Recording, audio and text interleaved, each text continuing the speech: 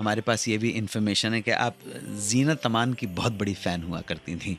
और जी बिल्कुल बिल्कुल। उस वक्त जैसे मैंने कहा मैं बहुत छोटी थी तो बहुत सीख रही थी और एक हिसाब से अच्छा ही हुआ क्योंकि बच्चे तो मतलब जैसे स्पंज होता है ना तो वैसे मैं सीखती गई। जिन जिन लोगों से जैसे चाहे वो जीनत जी हो या राज अंकल हो चाहे वो यूसुफ अंकल हो देव अंकल हो काका जी हो हरी भाई मतलब यू नेम इट और सबके साथ काम करने का मौका मिला। ये जो ब्रेक था as a child artist Satyam Shivam Sundaram में लोगों ने आपको नोट किया उसके बाद भी इंसाफ का तराजू। तो ये ये सही है कि राज कपूर साहब ने आपको एक एक डांस परफॉर्मेंस के दौरान शो में देखा था और काम का ऑफ़र दिया था? जी बिल्कुल। एक्चुअली इश्क इश्क इश्क और सत्यम शिवम सुंदरम में शायद दो या ढाई साल का फ़र्क हुआ। एंड uh, ऐसा हुआ कि अनफॉर्चुनेटली इश्क इश्क इश्क चली नहीं। जी।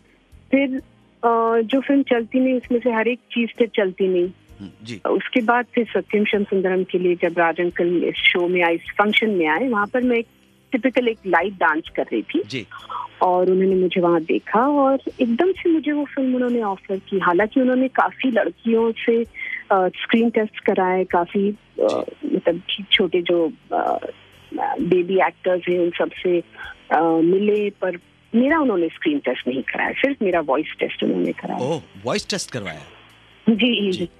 और ये फ़िल्म के लिए साइन कर लिया आप आपको सत्यम जी और और इस इस फ़िल्म की एक और मैं खासियत बताऊँगी जब लता जी का गाना था यशोमती मैया से बोले नंदा जो मेरा गाना था जी, मेरा वर्जन जो था। जी, हाँ जी।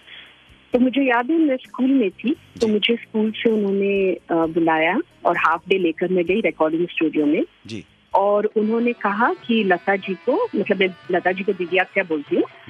उनको तुम ये जो है दो चार लाइन गा के सुनाओ। जी। और दीदी आत्या ने बिल्कुल मुझे कॉपी करके वो गाना गाया। 92.7 बिग एफएम पर सुनते रहिए सुहाना सफ़र विद अनु कपूर।